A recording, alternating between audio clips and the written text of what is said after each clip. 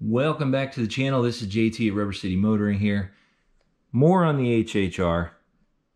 Today is kind of a step two if you were watching my first video, uh, which was pretty easy. It was the high flow intake from ZZP. Now we're going to pair that with these, they call these the GM Stage 1 sensors. Here's their info. These fit uh, in two spots. One's on the intake, one's on the lower pipe down there. The top one's super easy, the bottom one's a little trickier. But the reason for these, the way I'm told, and you can correct me if I'm wrong, um, more reliable, just easier to tune with, that sort of thing. And they recommended it when I was talking to them about uh, this, this little upgrade here. These sensors are, they only fit one of each too. These connectors are different on each one, so you can't really mix them up. And then they did give green O-rings here, um, which I don't really know if those are required, but they are. There are black ones on here. So I'm to mess with it and see which ones fit best and, and go from there. So here we go. You're going on this adventure with me, and we're to see how it goes. Some people like to notch things, uh, chisel things away. Uh, you know, file things down. So we'll just see how this fits. These aren't that complicated of a setup. They're just a simple sensor uh, that that fits into the, the spots, kind of uh, not a force fit, but they're pretty tight in there. So we'll kind of mess with this and see what happens here. Let's get the easy one out of the way first. Now, as you watch the last video, I don't have the air intake on here anymore. So it's a little bit more open. Doesn't really affect this though. It's a push clip here to remove push and pull. 10 millimeter bolts here, two of them. Let's get these out of there, and then we'll compare this sensor to the new one.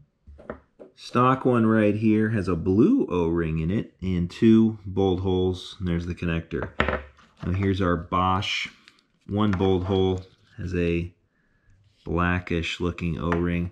I'm going to attempt to use what's on there did a little research. I really don't know what the greens are for. They do look smaller. We'll see if I can get this one to actually sit down before going to that smaller one. So there it is. I attached that right bolt right there, and I just put the other one in the hole just so, I mean, it's no sense losing it.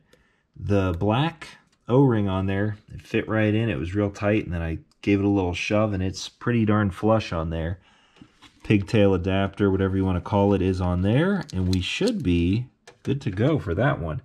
Now we move to the fun one, the bottom one.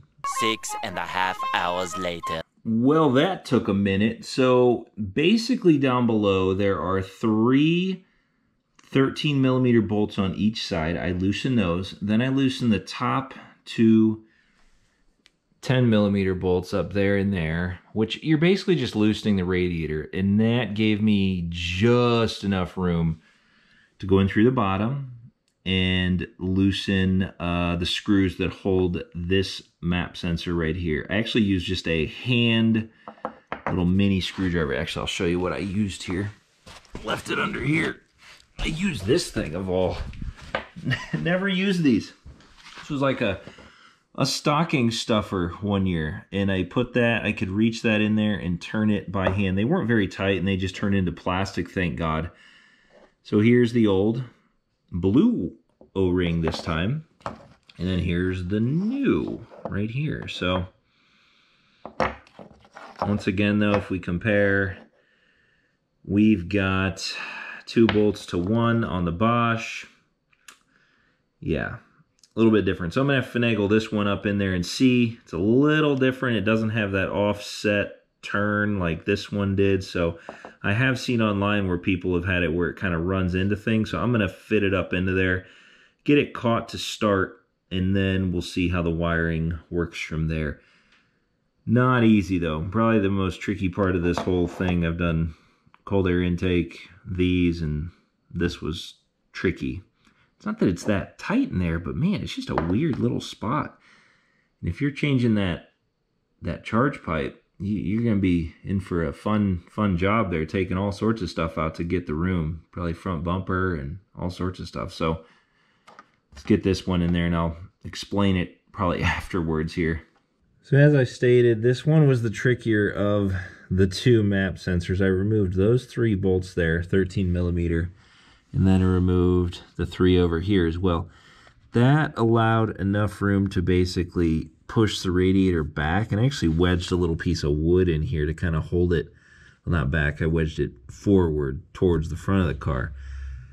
And then I could reach up with that little screwdriver and put it in there. The connector on that map sensor is super tricky to deal with. It just wasn't exactly ideal, but you can see it poking out there. The other problem is it's not a 90 like the factory one is. It comes straight out right there. So I did like a zip tie move where I zip tied it up in sort of a 90 degree fashion. You can see the zip tie there.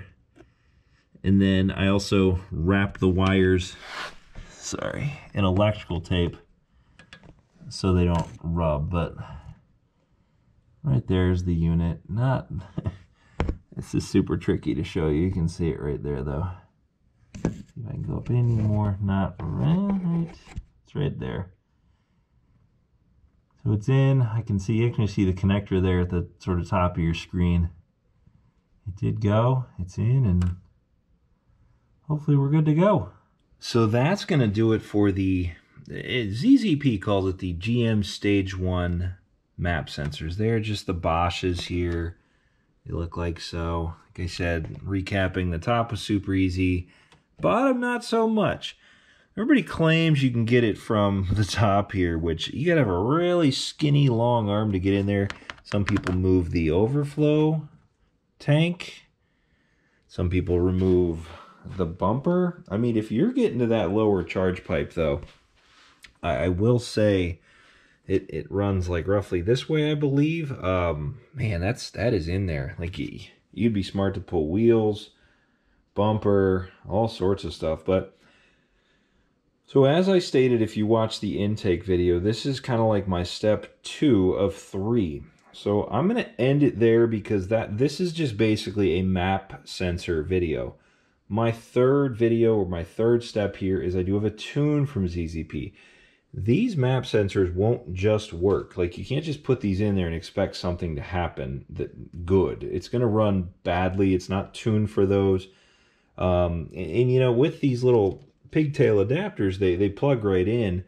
Factory, back when this car came out, that stage kit, they rewired it and all this stuff. And I've just heard it's not the best. But either way, check out ZZP for these. I'll put a link below to that. And uh, yeah, so thanks for watching and best of luck with your map sensor install.